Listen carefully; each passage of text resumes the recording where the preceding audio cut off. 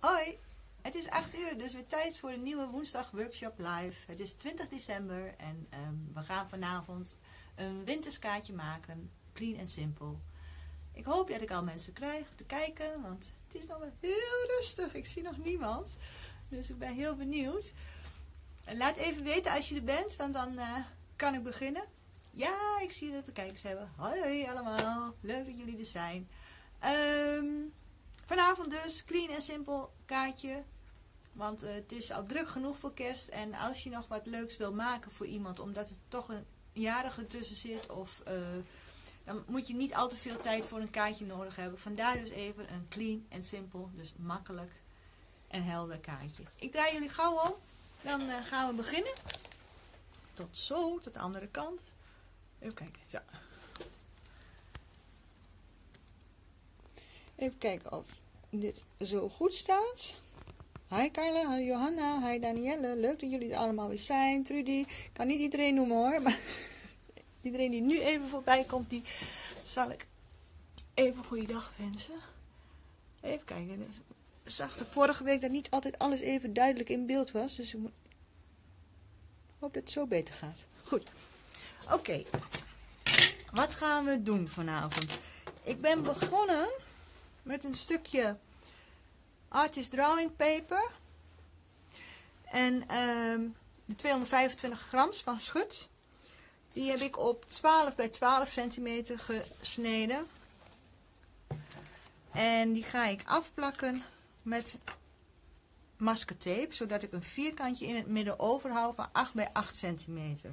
Dat houdt in dat is aan de zijkanten even 2 centimeter af teken. Dat doe ik gewoon met een centimeter liniaal dus en een potloodje. Gewoon 2 centimeter aan de ene kant. En aan de andere kant even een stipje zetten. Dat heb ik hieronder ook gedaan. Dan weet je waar je je maskertape moet plakken. Even kijken, zo lang ongeveer. Ik doe het maskertape door midden, want ik vind het jammer als ik te veel gebruik. En ons zinnig, we zijn Nederlanders, niet waar? Oké, okay, zet ik dus recht tegen de afgetekende puntjes aan. Aan deze kant. En ook aan de andere kant. Zo. Dan ga ik nog een keer weer 2 centimeter aftekenen. Zodat ik echt een vierkantje overhoud zometeen.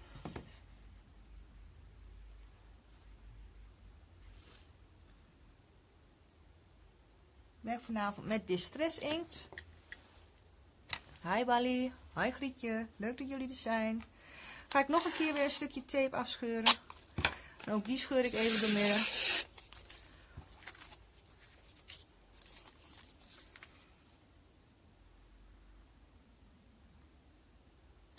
Aan één kant weer opgeplakt. En het andere stukje ligt hier. En ook daar is hij opgeplaatst. Hi Ellen, hi Thea. Hoi hoi. Nou, nu zie je dat ik een vierkant 8 bij 8 ongeveer heb op mijn kaart van 12 bij 12 centimeter. Ik ga hier proberen en met een beetje winterse kleuren een winters uh, achtergrondje te maken. En daarvoor heb ik uh, diverse kleuren distress in klaargelegd zoals de Broken China, de Stormy Sky. Deze beide ga ik gebruiken voor de lucht. De Wild Honey, die ga ik voor het middengedeelte gebruiken. De Gathered Twigs, die ga ik voor de onderkant gebruiken. En ook de Black Shoot ga ik ook voor de onderkant gebruiken. Ah, fijn Irene, dus zoveel gaat het jou wel lukken en jou gaat dit allemaal wel lukken. Weet ik zeker. Na vanavond ga jij het ook doen. Hi Kitty, leuk dat je er bent. Um, goed. Ga ik beginnen met um, de onderkant met de Gathered Tricks. Ja, dit was voor mijn gevoel mijn onderkant, dus dat had natuurlijk niet zo heel veel uitgemaakt.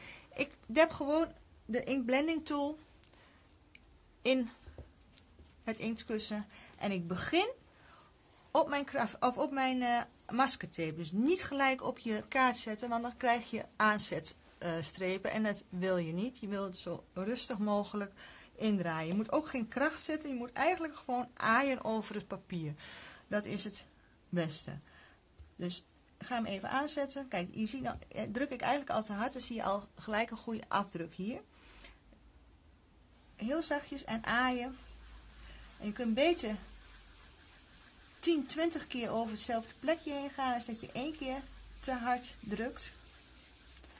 Weet trouwens niet, ja zo. Dit op de een of andere manier is het inktkussen niet zo heel mooi meer, maar goed.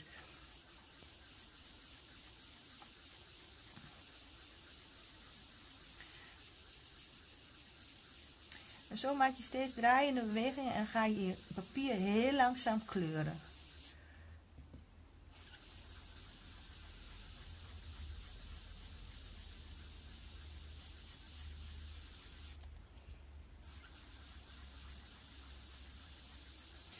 Omdat ik rechtshandig ben, ga ik dus eigenlijk van rechts naar links. Dat werkt het makkelijkste als dat je van onder naar boven gaat werken, want dan zit je jezelf eigenlijk in de weg.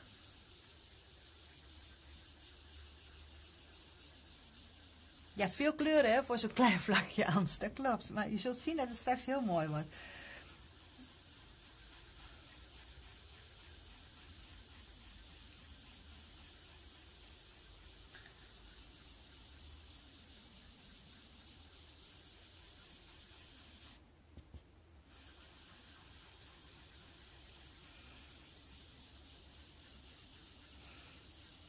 Eigenlijk zul je ook zien dat straks um, de maskertape bijna nog meer gekleurd is dan het vlak. Het vlak wil ik gewoon heel mooi zacht gekleurd hebben.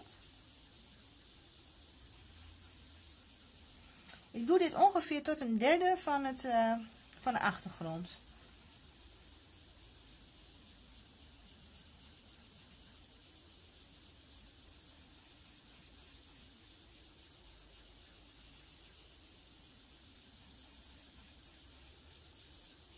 Van het vlakje wat ik gekleurd wil hebben, maak ik ongeveer een derde bruin.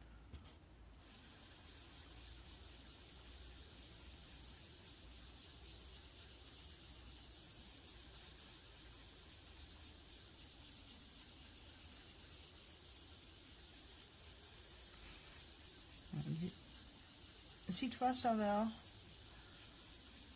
kleuren begint te komen. Je ziet ook nu dat er steeds meer kleur opkomt.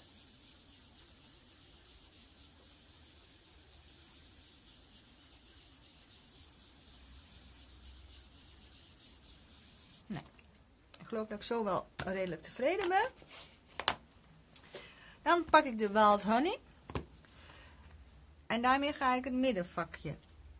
Dus het tweede, derde gedeelte, dus eigenlijk het middelste gedeelte van het vakje wat ik in drieën verdeel, maak ik daarmee op kleur.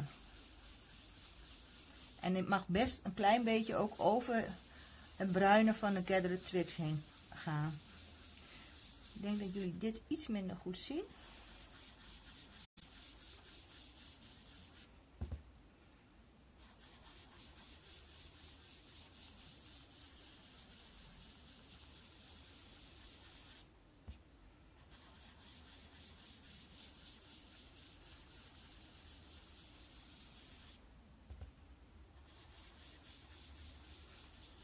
Dat het beeld steeds scherp moet stellen omdat ik van die draaiende bewegingen maak waarschijnlijk. Maar ik kan daar helaas niks aan veranderen. Dat doet het fototoestelletje uit zichzelf. Het zal wel duidelijk zijn. Hi Carla, hi Grietje.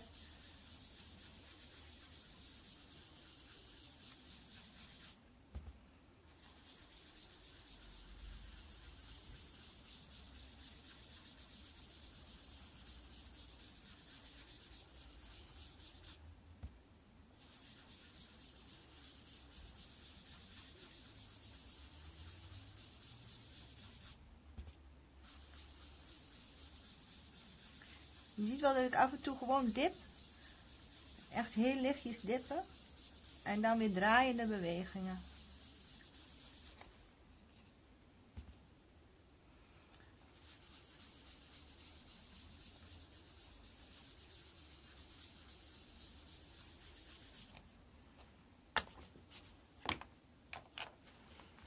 Hi Jacqueline. Ik ga nog even met bruin nog een klein stukje er weer overheen. Dus de Gathered Twix die pak ik nog een keer om ook even die overgang nog een beetje in elkaar over te laten gaan. Tussen het Wild Honey en de Gathered Twix. Zo loopt hij mooi over. Dan pak ik de Broken China. Dat is de lichtste kleur blauw die ik erbij heb gepakt. En daarmee ga ik het resterende derde gedeelte invullen.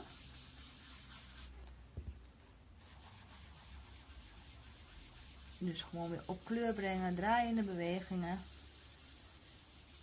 En ik ga het toch even draaien, maar ik heb toch meer het gevoel dat ik dan beter zie wat ik doe.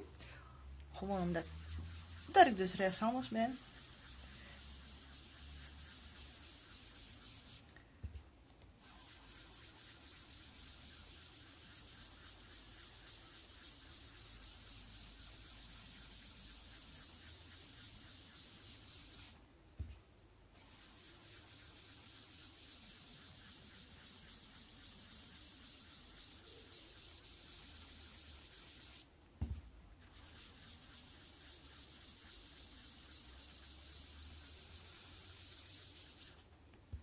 Hiermee zie je dat het gewoon heel langzaam op kleur komt. Niet te hard drukken, want dan krijg je echt strepen en dat is niet de bedoeling. Je wilt een mooie, rustige, egale, gesponst vlakje hebben.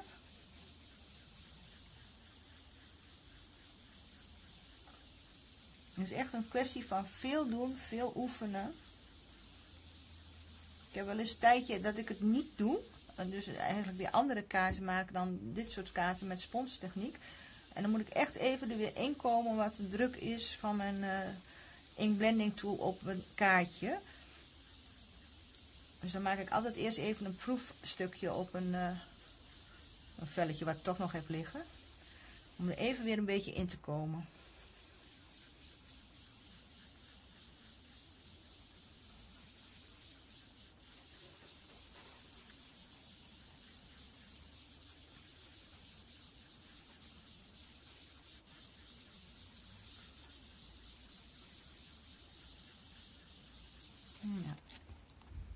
Deze is mooi, mooi licht. Pak ik toch nog, ook nog een keer weer de wild honey om ook de overgang tussen het blauw en het gele van de wild honey wat meer te laten blenden met elkaar. Blenden is dus mengen.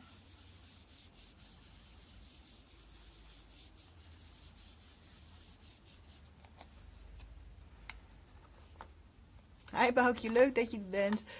Nou, je hebt niet zo heel veel gemist. Ik heb een vakje afgeplakt met maskertape van 8 bij 8 centimeter. Op een kaart van 12 bij 12. En die heb ik nou in drieën verdeeld in, in drie kleuren gedaan. En ik moet hem eigenlijk zo neerleggen. Dan heb je de Gathered Twigs, de Wild Honey en de Broken China van Distress Inks. En daarmee probeer ik een winterse achtergrond te creëren. Zo, daar ben je helemaal bij. Goed, om het nog een beetje diepte te geven, had ik natuurlijk ook nog de Stormy Sky voor bovenlangs. Dus dat je nog iets meer overgang hebt naar donkerblauw. En dat ga ik natuurlijk ook doen. Ik zie dat er een stofje op ligt. Dan hoop ik dat ik die kwijt raak. Ja, zo, even blazen, dan werkt dat. Um, dus die Stormy Sky ga ik ook weer aanbrengen met de Ink Blending Tool. Op dezelfde manier. Je blijft weer aanzetten op je maskertape. En dan ga ik een heel klein stukje overlappen.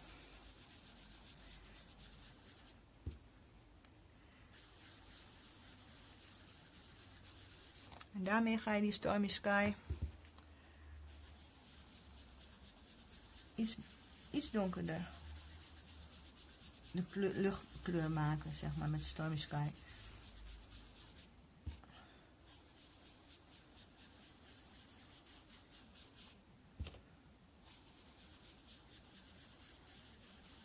Zorg dat je niet te veel inkt aan je inkblending tool hebt. Je kunt het beter heel vaak overheen gaan dan één keer te veel omdat je echt een rand ziet staan. Zo. Dan wordt hij iets donkerder. En hetzelfde ga ik hieronder doen bij de grond met de black suit. Ook daar weer moet je echt oppassen dat je niet te, niet te veel doet. En ook echt maar een klein stukje van die ondergrond. Langs het maskertape randje zwart probeer te krijgen. En echt niet te zwart. Het mag echt gewoon een klein beetje mengen met de bruine tint die er dus op zit van de Gathered Twigs.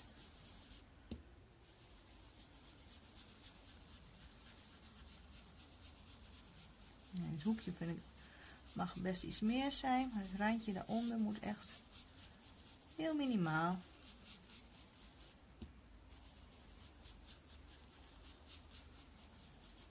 Nou.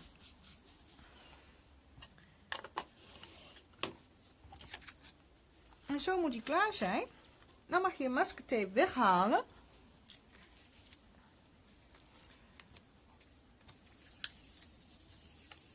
Kijk, en dan hebben we zo al de achtergrond klaar. Nou zie je natuurlijk nog de puntjes van de, waar ik het maskertape heb op afgemeten. Dat kun je even weghalen met een gummetje. Omdat je dat met potlood hebt gedaan. Wel zo netjes als je dat weghaalt. Dan zie je dat verder ook niet meer. Nou, dan heb je een heel net randje. Dan gaan we een stempel zetten. Ik heb gekozen vanavond voor stempels van Penny Black. De Delicate Silhouette. Dat zijn clear stempels. En er zit een setje en er zit een bloemen op. En uh, halmen, uh, grashalmen. En uh, ja, van alles. En nog één tekstje met With Love staat er ook nog in. En um, ik ga vandaag voor de grashalmen. Die haal ik eraf. Ik ga stempelen met de stamping tool van Tim Holtz. Tim Holtz heeft een deksel, zoals je weet, waarmee je uh, die om kunt draaien. Als je clearstempels hebt, dan zorg je dat je de clear wat op het deksel geschreven staat kunt lezen. Uh, heb je rubberstempels, dan draai je je deksel om en zorg je dat je rubber kunt lezen. Nou, vanavond zijn het clearstempels, dus deksel zo plaatsen dat je clear kunt lezen als het deksel dicht is.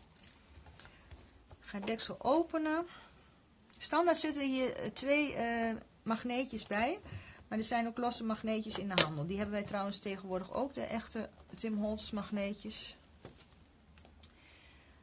Um, nou, je kunt de strak er tegenaan leggen. Je kunt hem ook zo leggen. Maakt in principe niet zo heel veel uit hoe je hem legt. Want je gaat toch je positie van de stempel bepalen.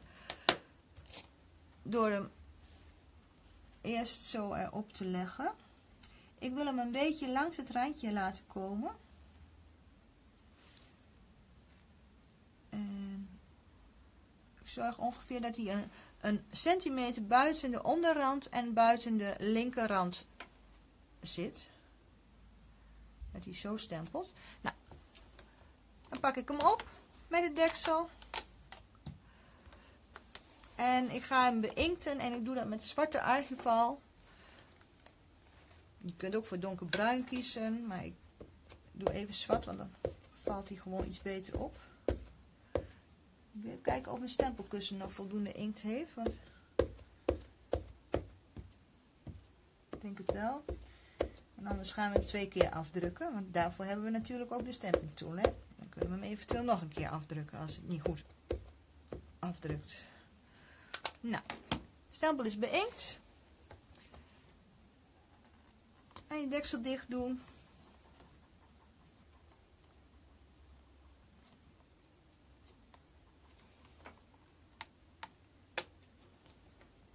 Nee, mag nog een keer. Je ziet dan wel hoe het gaat worden ongeveer. Even kijken of het met mijn andere stempelkussen net iets beter gaat.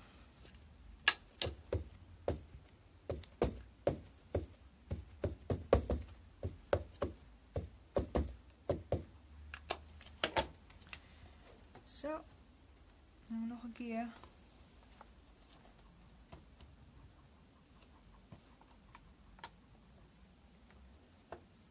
Hij is verschoven de een of andere manier. Nou, dat maakt op zich niet zo heel veel uit. Geeft wel diepte. Maar ik had hem mooier gevonden als hij helemaal recht had gestaan. Dus ik zou bijna zeggen, ik begin even overnieuw. Maar dat doen we nu niet. Dan heb ik nog een um, tekstje. Die tekst staat er ook bij in. Dat is de tekst With Love.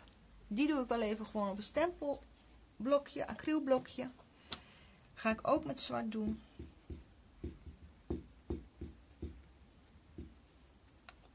En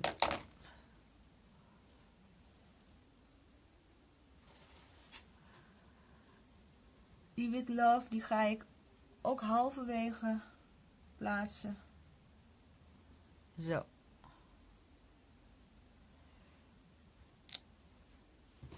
En zo is die afgedrukt. Ik zal de camera even iets lager zetten. Uh, misschien dat het inderdaad iets beter werkt.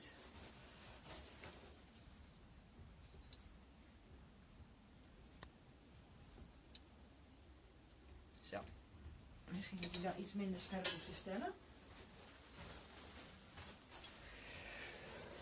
Nou, dan ga je deze kaart matten op een zwarte stukje kaartstok. Zo zeg maar. En dan ga je hem op een kaart plakken. En dan krijg je hem er zo uit te zien. Heb je eigenlijk heel snel een hele clean en simpel kaartje. Nou, je kunt natuurlijk ook kiezen voor een minder strak, strakke kaart. Dat laat ik ook nog even zien. Dan neem ik een uh, dubbele kaart, ook weer 225 grams kaartstok van uh, en die snij je gewoon op maat voor de 10,5 bij 15.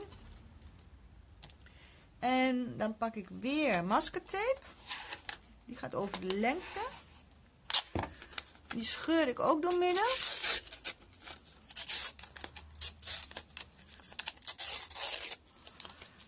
En dan maak ik eigenlijk een strook van boven naar beneden. Alleen ik ga hem niet heel mooi recht doen. Ik ga hem een beetje, een beetje grillig dit keer.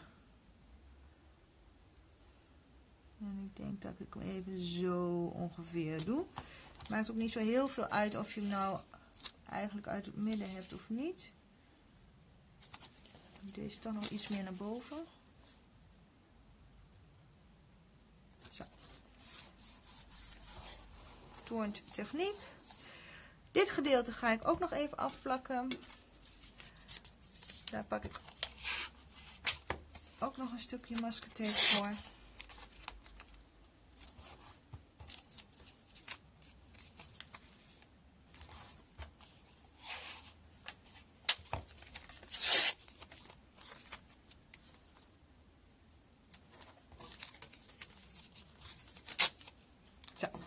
je niet per ongeluk de zijkantjes raakt met je inblending tool, dan is die in elk geval goed afgedicht. Nou, begin ik eigenlijk weer op dezelfde manier ook weer de, alle dezelfde kleuren en van onder naar boven te werken. We draaien de bewegingen. Eerst de Gather Tricks aan de onderkant.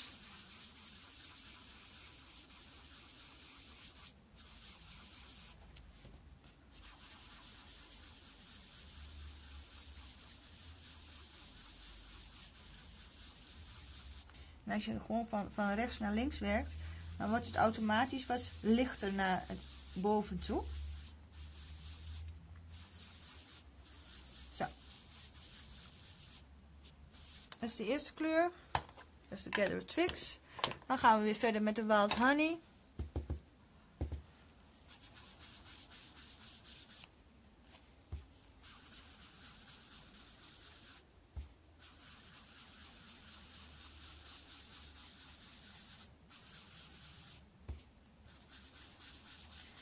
Niet te dicht aanzetten. Echt gewoon rustig vanaf je maskertape beginnen te draaien met en aan te zetten. En niet gelijk op papier al aanzetten. Dat is de grootste tip die ik je kan geven om, om het netjes te krijgen.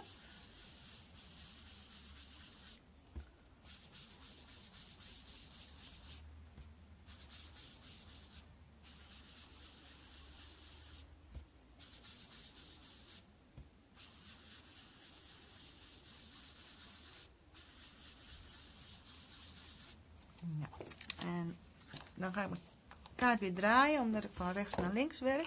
En dan de broken china de lucht weer.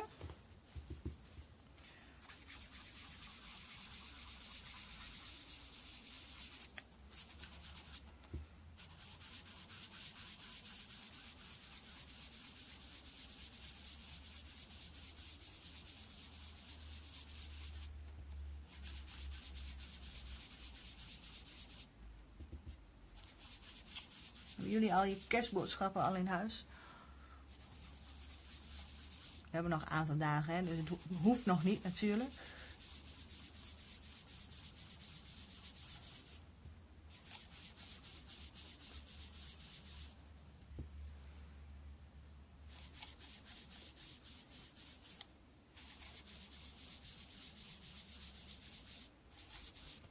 Nou, en dan gaan we nog even...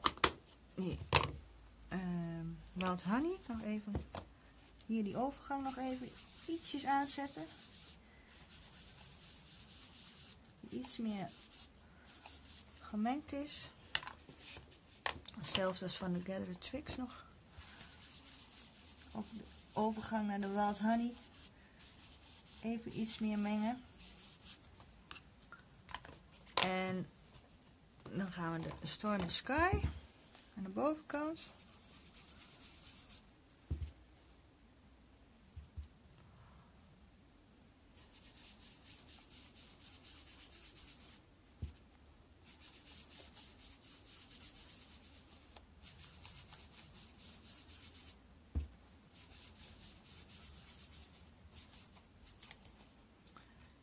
En um, de black shoot aan de onderkant.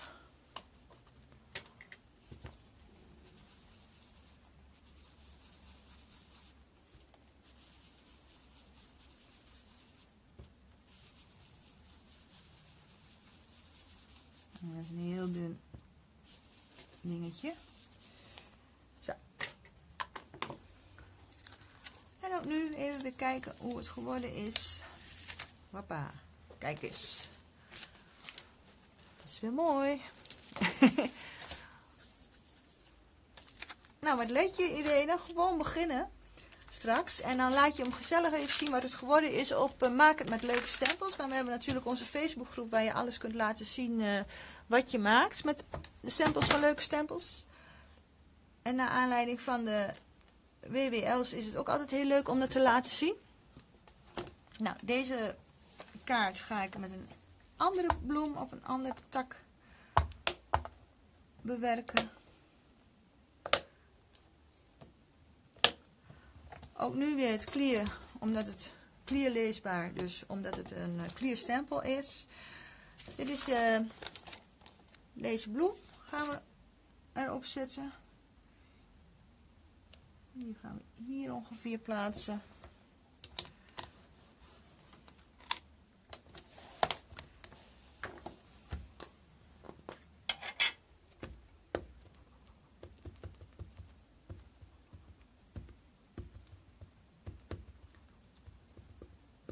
Hi Carla. Ja hoor, je kunt het ook met Memento ink doen. Je kunt het net uh, sponsoren met welke inkt je dan ook maar wil. Het kan zelfs met station als je dat zou willen. Uh, dan kun je er geen waterdruppels of zo meer op spatten. Maar dat werkt natuurlijk niet met station. Maar het zou wel kunnen.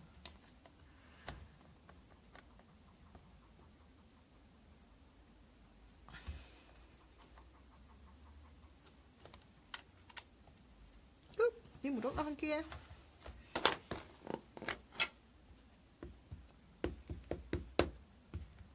Ik moet hopen dat hij niet verschoven is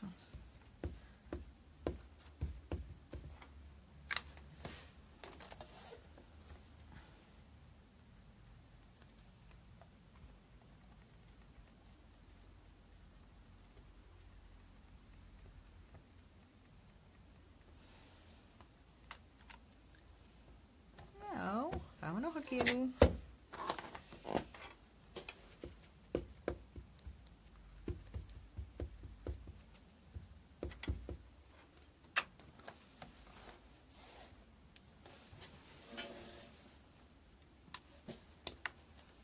En dan ga ik er even wat meer druk zetten. Ja, kijk, nou is die mooi.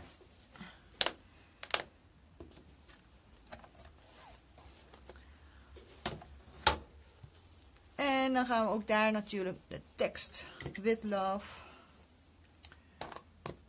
even bijstempelen om het helemaal compleet te maken.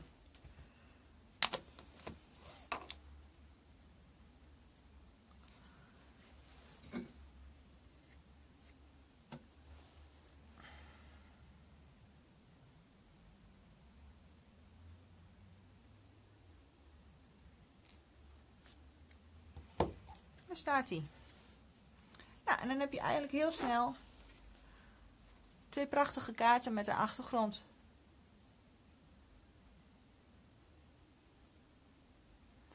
Ja, um, weet je Marjolein, als je de stempels wat, veel, wat vaker gebruikt, dan worden ze uiteindelijk wel, wel minder plakkerig.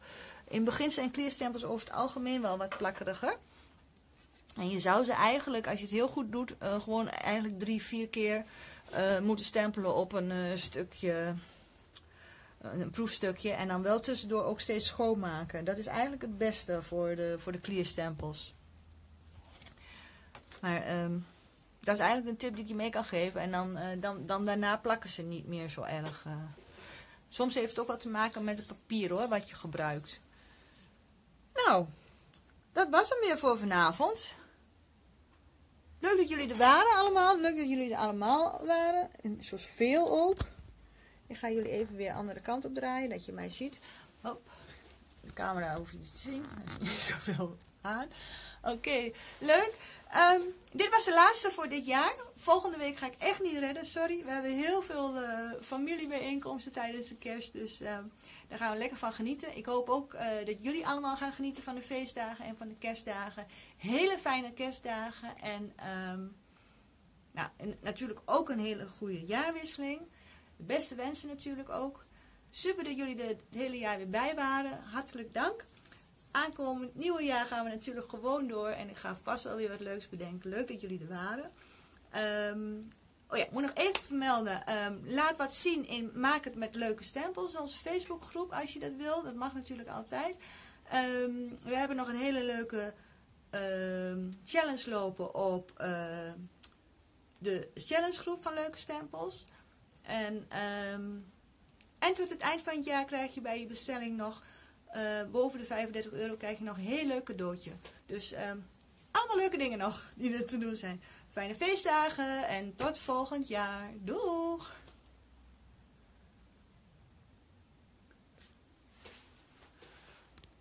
Ik moet hem wel uitzetten. Aha.